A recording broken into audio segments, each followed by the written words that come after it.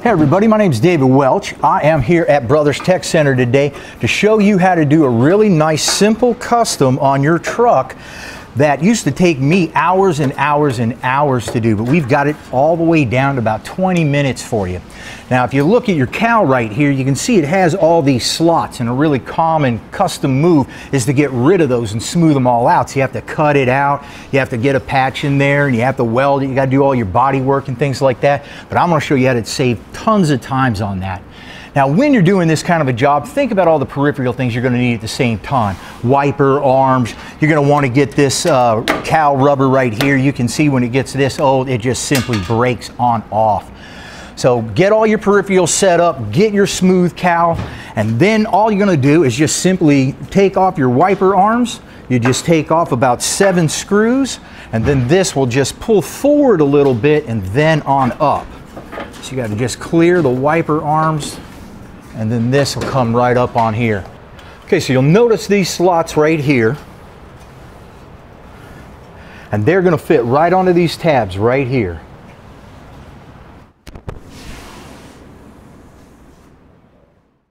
So here you can see a side-by-side -side comparison.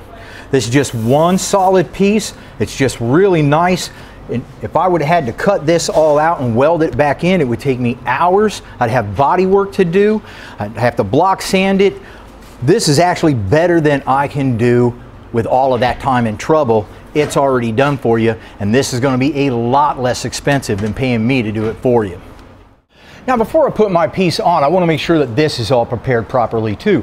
Remember, it's all the dirt that falls in here and the water that comes on down and collects and causes all the rust problems you have down in the front of your cabs and your fenders. So get all that dirt out of there. If you got any rust in there, go ahead and shoot some rust converter on there or go ahead and paint it all up, but get that all prepped up and looking good before you go ahead and put this guy on. Now I want you to know a couple of things about this right here. First is, you see these little tabs right here? Now those tabs will come sticking straight out. What you want to do is you just want to bend them down a little bit, okay? Not a lot, just a little bit. And what these do is on the end right here where your metal comes around, that's where these tabs rest right here. So when I put it on, it'll be up a little bit high and I can just push it down and that'll bend these tabs into the right spot to give this nice and level right here. Another thing I want you to notice is your rubber hood cowl rubber. You want to take that out of the plastic as soon as you get it. You want to lay it out in the sun and put something heavy on it so it's nice and flat and easy to work with. You want to notice that there is a notch right here in the rubber. Can you see that there? And that notch is going to line up with this indentation in this piece. You'll notice that when that is, it, the rubber will be a little bit taller than the piece. You can go ahead and uh, trim it down if necessary. Now I'm to go ahead and install this guy here and it just goes on just like it came off.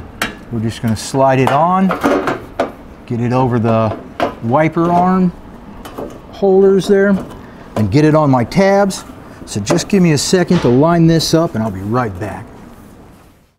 All right, so you know that you're installing this right when the notch and the notch line up and you'll also notice these ribs right here. Those ribs have to be facing upwards. So we know we've got it going in right. All I'm doing is just lifting this up a little bit and tucking it right up underneath. So just like that. So now what I can do is I will get something that's nice and sharp. I'll see exactly where the hole is, put the rubber back, and then I'll go ahead and pump a hole right through the rubber. I'll get my new screws, which of course, because you planned ahead and you got all the peripherals, you have the screw kit too. Yes, you could use your old ones. They are old and tired and ugly. Yes, you could go and you could find them, but you can just order them and be done with it. So you get one started. I'm not screwing it all the way down tight. I'm gonna go ahead and I'm gonna pull the rubber just a little snug and then I'm gonna look for the next hole. We want to make sure that the rubber doesn't have any kind of like gaps or is bumping out like this. So you need to pull, go ahead and um, pull it just a little taut so that it is uh, on correctly and make sure that it's all the way back and everything. So I'm gonna go ahead and get all of these holes done and then I'll show you what it looks like when we're all done. So you can see that only takes about 15 minutes to do. You got a nice smooth cowl on there. You're looking custom and you're keeping out all the dirt and trash that's gonna cause you rust in the future. You make sure you check us out on Facebook and Instagram. Subscribe, ring bells, you know what to do.